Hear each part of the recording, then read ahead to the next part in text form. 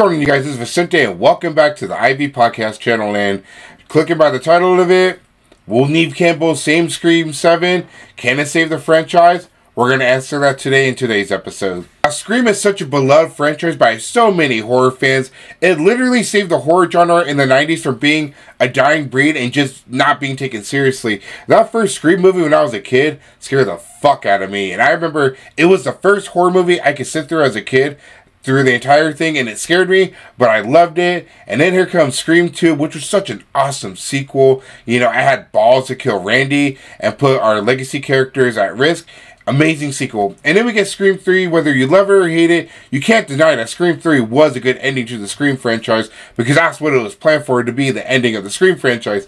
And then a decade later, we get Scream 4, making fun of reboots, remakes. And then almost another decade later, we get the requel Scream 5, which, you know, has a whole new generation of a cast. You know, from legacy characters, we get the return of Dewey, Gale, and Sidney Prescott. I love them. Scream 5, I loved that first when it first came out. But then, you know, over time, it's just kind of like died down for me. I still enjoy it, don't get me wrong. I don't think it's a horrible film, but I definitely see more problems with it than I did in the, you know, beginning. And then we get Scream 6, Ghostface Takes Manhattan. And oh my god, that was a good movie. Granted, it had a very, very bad third act. You know, it was just basically a rehash of Scream 2 with the ending, with the family dynamic, you know, parent becoming a killer, all that stuff. And where does that leave us? Scream 7.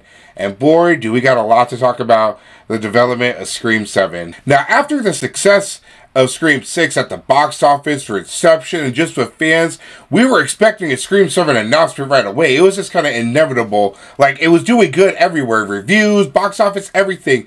But then we didn't really get news for a while. I mean, Radio Silence did confirm that, yeah, you know, it's in the planning stages, but it wasn't a confirmation because with Scream 5, with how big of a hit it was, immediately Scream 6 got confirmed. So we're just sitting here, us Scream fans are just like, where's Scream 7? You know?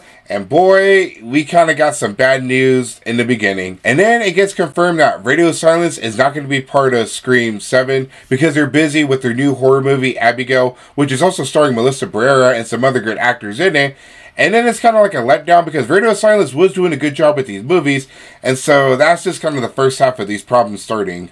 And then we get the big unfortunate news. And boy, this is what pissed off a lot of Scream fans. And then just a couple months later, we get the announcement that Christopher Landon, the director of the first two Happy Death Day movies and the Freaky movie, gets announced as a new director replacing the Radio Silence. And honestly, I was excited because that's right up his alley, you know, with Freaky and both Happy Day movies being fun slasher movies, taking inspiration from Scream, you just knew that this movie was going to be fucking gold. Scream 7 was in good hands, but boy, that didn't last too long because this is where shit hits the fan really, really bad. And then it just seems like literally right after the announcement by Christopher Landon, fucking Melissa Barrera gets fired because she called for a ceasefire on her Instagram story, and that Spyglass Media accused her of being anti-Semitic, saying she hated Jews and that she was being racist, and that pissed off the entire Scream fandom, and I was one of those fans.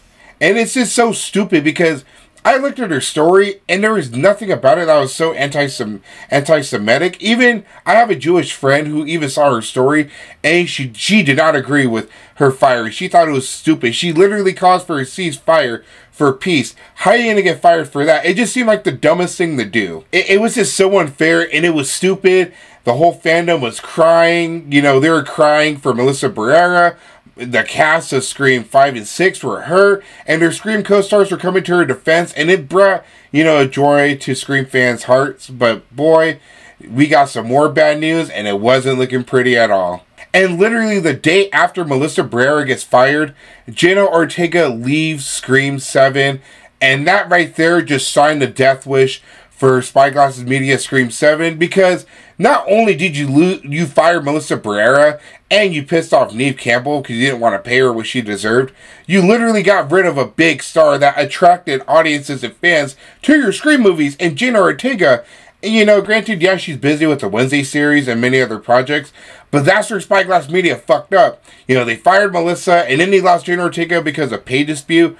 And it's like, dude, she's a big star Of course, she's gonna want a little bit of money, you know, and it is dumb because it's like you didn't want to pay Neve Campbell that money. You at least deserve to pay Jenna Ortega that money because everyone loves her character, uh, Tara Carpenter, and it was just a whole convoluted mess. I remember just seeing so many posting that they weren't going to support Scream 7, and I'm one of those that's not going to support Scream 7, even with the recent announcement that we're going to talk about in just a little bit. And it's just not for me because I don't know about the whole Palestine and Israel thing. You know, I don't know enough about it to have a say in it, whether or not I agree with either side. Uh, but I will say this: my heart goes out to the innocent victims on both sides, whether regardless of their allegiance, innocent lives are being taken. That's what matters to me, and it hurts my heart.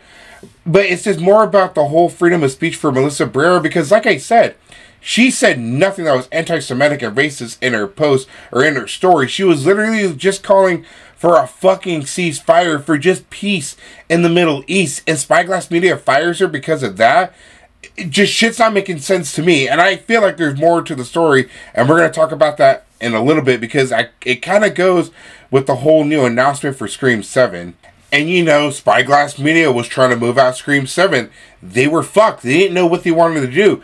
They didn't know if they want to keep moving on with the whole new cast start over. And if they did that, they would have been screwed. That movie would have flopped so hard because you have this amazing core four, you know, and Jasmine Savoy Brown, Mason Gooding, Jenna Ortega, and Melissa Barrera. They were so close, and that's what I loved about five and six was just their chemistry, especially in Scream Six, the core four. So it's like you lost Jenna Ortega and you lost Melissa Barrera because you fired fired her over the dumbest thing ever, and now you're probably not going to get Mason Gooding or Jasmine Savoy Brown because they're close in real life. They're this close. You know, they go to events together, they hang out. So it's like, what do you do in this situation? And the only time I would have supported Scream 7 is if Spyglass had the decency to sell the rights of Scream to a different company. Maybe Blumhouse, maybe A24, who knows? Just a company that would have taken care of the Scream franchise with just love. But boy, some news just got announced and I don't know how I feel about it. I'm on the fence. And just a couple days ago, we literally get an announcement of Neve Campbell returning as Sidney Prescott for Scream 7, and that's not where it stops. Kevin Williamson is returning as director. He's the writer of the original Scream movies, and this is where I feel conflicted because one, I love Neve Campbell as Sidney Prescott. She is my ultimate horror final girl. You know, as a kid, people my age, you know, when they were a kid, their first crush was Amy Jo Johnson as a Pink Ranger and Mighty Morphin Power Rangers. For me, it was fucking Neve Campbell as Sidney Prescott. She was my childhood crush. And I was devastated when she wasn't going to be in Scream 6. But honestly, I think that her character, Sidney Prescott, is just done. You know, like there's nothing else you can do with her character. So I felt like it was a good send off. You know, Scream 5 being her last movie because it was a literal passing of the torch and then we get this announcement that Spyglass Media is bringing back Neve Campbell, and it raises a question. Why didn't you just give her the pay that she wanted so she could be in Scream 6 if they wanted her that bad? And it kind of raises a lot of red flags. And it's very fucked up because they're willing to give Neve Campbell their her money that she deserves, but they weren't willing to pay Jenna Ortega the pay that she deserves. And I'm pretty sure what she wanted wasn't going to be as much as Neve Campbell because Neve Campbell is the face of Scream. Jenna Ortega is very popular, but literally Neve Campbell is the face of Scream, so she's going to get a bigger pay than Jenna Ortega. So it's like you didn't want to pay Jenna Ortega, but yet you're going to pay Neve Campbell all that money, even though you fucked her over in the beginning of Scream 6 when it entered production. I'm sorry, that's just fucking stupid. And this is where a little conspiracy theories are coming in from what I've seen our Reddit posts, Reddit forums, and just other YouTubers. So there were reports that, you know, Jenna Ortega for months, it was known that she was gonna not be a part of Scream 7, and I, it was just gonna be Melissa Barrera. And it kind of begs the question this is where the theories come in does Spyglass Media not have a lot of trust in Melissa Barrera to carry the movies? I mean, yeah, it would have sucked to lose Jenna Ortega, but Melissa Barrera was such a good actress in Scream 6. Scream 5, her acting was a little wonky. You can't deny that, you know. But she did what she could. She did the best she could with the script. But then Scream Six, she was fucking amazing. Knocked out of the ballpark. She was worthy of the final girl name. Not that already she wasn't a badass already, but she really brought her A game for Scream Six. And so it's like, did Spyglass Media not trust her? Did you not think she was going to be a big star? And so were they just waiting for the perfect excuse to fire Melissa Barrera? And when she made that post about the ceasefire for Palestine, did he just like think that's her opportunity? Let's get him right there. We're just gonna fire her, accuse her of being anti-Semitic and racist. And like I said, this isn't my own theory. This is one I've seen among Scream fans, um, Reddit forums, and other YouTubers. And I'm not gonna lie, I'm not one for conspiracy theories because I think they're kind of stupid sometimes. But I kind of agree with this one. I mean, look at Radio Silence leaving in the beginning. There's something fishy about it. I mean, yes, they were busy planning their uh, Abigail movie. That looks like it's going to be a fucking hitter. It looks like it's going to be good.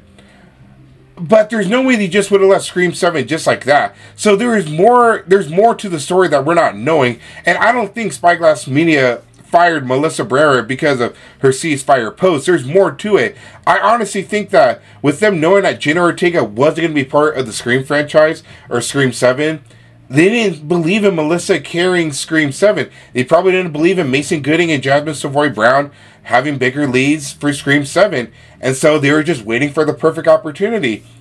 And this, and like, it's all fucked up. It's screwed up. You know, like, Melissa's a good actress. I don't know what more she could have did that Spyglass Media wanted. And it's kind of weird because Neve Campbell, you know, got interviewed, I think, a month, two or three months ago. You know, and they asked her about Melissa Barrera's firing for Scream 7, and she said it sucks.